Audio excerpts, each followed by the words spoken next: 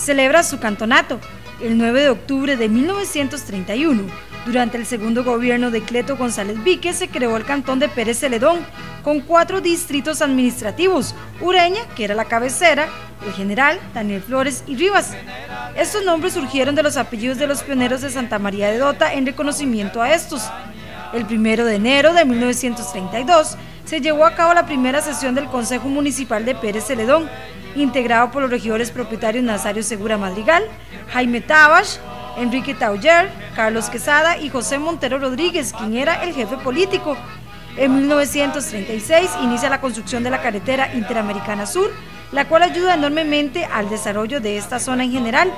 Esta obra finalizó en 1946. Pérez Celedón es el cantón número 19 de la provincia de San José, ubicado en la región Brunca al sur del país. Su cabecera y principal ciudad es San Isidro del General. Actualmente tiene 11 distritos. Según el censo del 2011 del Instituto Nacional de Estadísticas y Censos, su población alcanza a 142.742 personas, siendo 71.931 varones y 70.843 mujeres, alcanzando una densidad de población de 74.9 personas por kilómetro cuadrado. Nacido en los bosques, llevo en mi alma